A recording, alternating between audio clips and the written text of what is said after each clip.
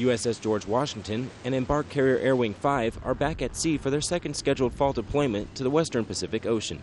The battle group will focus their efforts on maritime security operations and take part in a major bilateral exercise with the Japan Maritime Self Defense Force. This deployment also offers crew members a chance to earn qualifications both above deck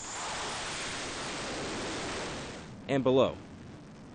I want to be able to know where everything is. That's one. I want to be able to qual, like get all my general stuff out and probably do some extra things, whatever that is. And generally enjoy my time here. This deployment marks one year of operations for the GW Strike Group and 7th Fleet as the Navy's only permanently forward deployed aircraft carrier. For the U.S. Navy, I'm Petty Officer Brock Taylor.